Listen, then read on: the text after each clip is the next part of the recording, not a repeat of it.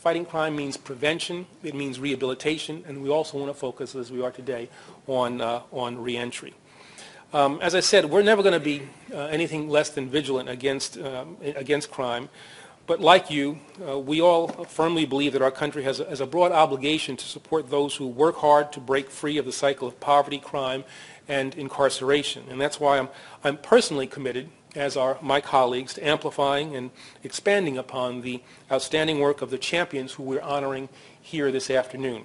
Now, nowhere is this commitment more clear than in the Justice Department's Smart on Crime initiative, which I announced last August, and in the work of our Federal Interagency Reentry Council, which brings together cabinet members. And this is not something where deputy secretaries are welcome. I mean, this is something where cabinet heads come together uh, and other leaders throughout the Obama administration, in which I'm very proud to chair. Uh, these groundbreaking efforts are enabling us to tear down unnecessary barriers to opportunity and independence while building upon programs and policies that enable returning individuals to successfully reintegrate into their communities. Now, as a, as a critical part of this work, through the Department's National Institute of Justice, we've funded the American Bar Association's efforts to create a national inventory of collateral consequences of conviction. Now, this inventory can be searched by state, it can be searched by consequence type, and by triggering offense category. And it is modeled in part after the collateral consequences assessment tool, which was pioneered in North Carolina by one of the champions that we honor today, Daryl Atkinson. Now, Daryl overcame his own involvement with the criminal justice system and has since worked to build a, a, better future, not only for himself, but for countless others who deserve a second chance. Thanks to the tireless dedication of attorneys and staff at the ABA and the commitment of people like, like Daryl, our collateral consequences inventory is now complete. And it catalogs an astounding 45,000 45,000 federal and state statutes and regulations that limit opportunities, 75% of which are employment related. So think about that in terms of collateral consequences of conviction. 45,000 federal, state uh, statutes and regulations, and 75% of that 45,000 are employment related. As we speak, the department is encouraging states to eliminate this staggering number of legal barriers that, that do not serve a public safety purpose. And to that end, I've asked state attorneys general to reconsider policies that impose overly burdensome obstacles on formerly incarcerated individuals. And now I invite you to join me in recognizing our 2014 Champions of Change, whom it is my privilege to introduce at this time.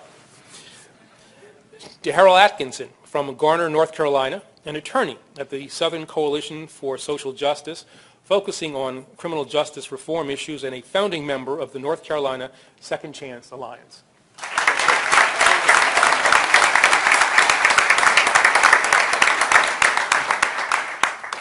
both you know, tell your story and how you came to be such a fierce criminal justice advocate, um, but also tell us a bit about the sort of uh, culture shift that you envision.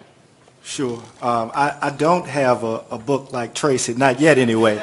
So I guess I can I guess I can reveal a little bit about, more about my story. Uh, in 1996, I was convicted of a first-time nonviolent drug crime.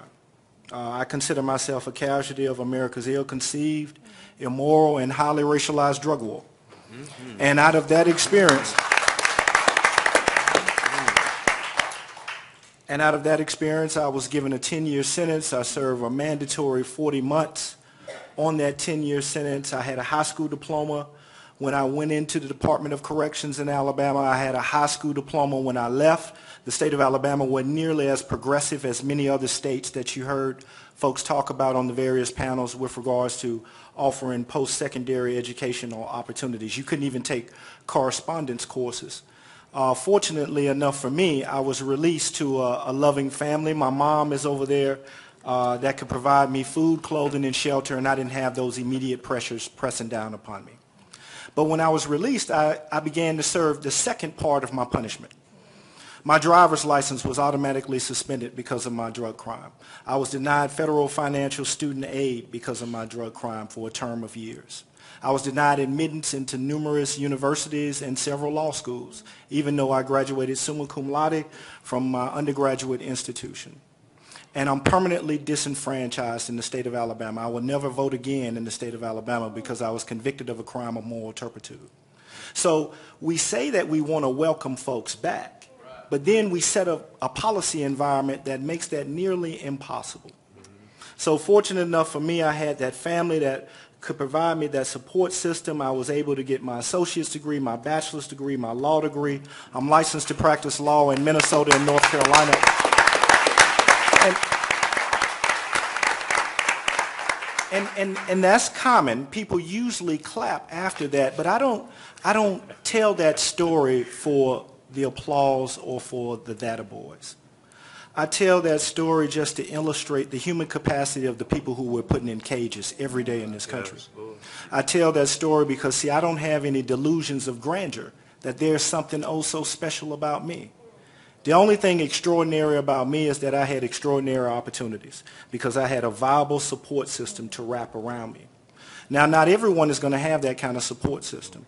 Everyone isn't going to return to that kind of family and that kind of community. That's why convenings, that's why the work that the federal government, that's why the work that we do in the respective states is so important so we can create secondary support systems so more folks can be successful. So why am I such a fierce advocate? Because I got skin in the game.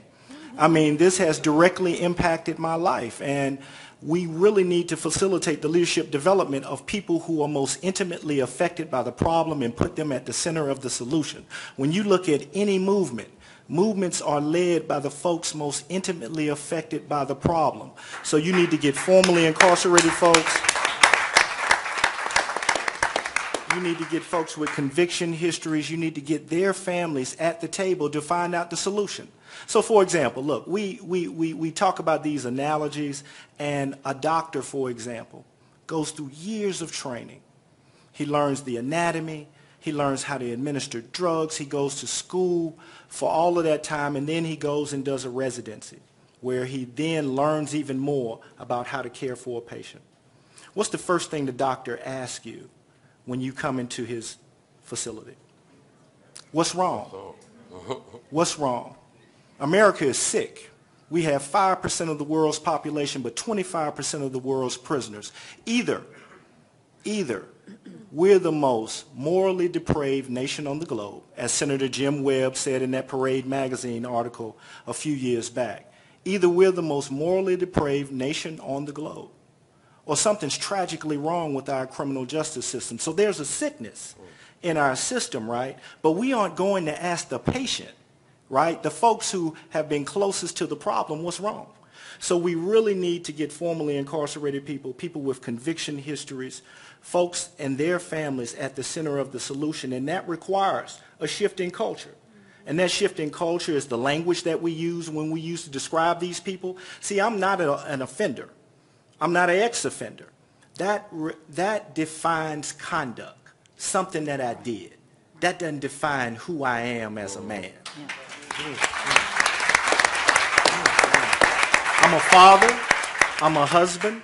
I'm a deacon in my church, and most importantly, I'm a, I'm a child of the Most High God. So I refuse to be defined by a single moment in time. So language, that's how we shift culture. Mm-hmm. The images that we put forth in our media, in our television, the, the bleed, if it bleeds, it leads kind of mentality that we have in this country with regards to sensationalizing people who might have done something wrong, right? And that represents such a small percentage of the folks who go through our criminal justice system. It isn't the vast majority. So the images that we put forth.